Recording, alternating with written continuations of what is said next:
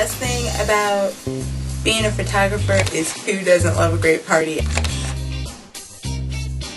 The emotion, just happiness and joy, love. My name is Tiffany and I am a creative image photographer.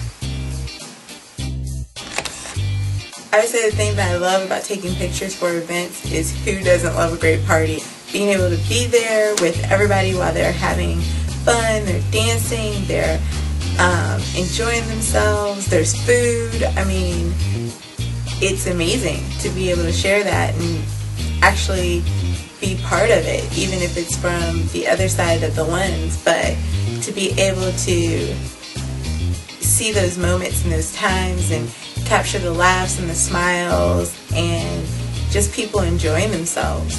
Who wouldn't love that? With weddings, it's the emotion. Um, to be able to catch the groom when he first sees his bride or a father dancing with his daughter. Um, it's a mother as her daughter says, I do everything about it, the emotion of it. And that's that's my favorite part of being there at a wedding is being able to get those moments, capture those moments in those pictures and share that. I think a professional photographer is someone who continues to make themselves better, who works hard at learning new techniques, who is striving to capture the best that they can, looking at it every day, making sure that what it is that they're giving is the absolute best that they can give.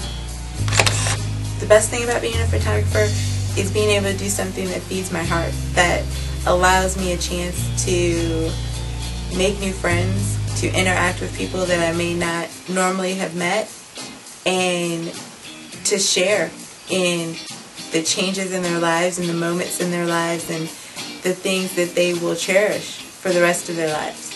My creativity comes from just looking at a picture and or at a moment and just seeing something else. My name is Tiffany and I am a creative image photographer.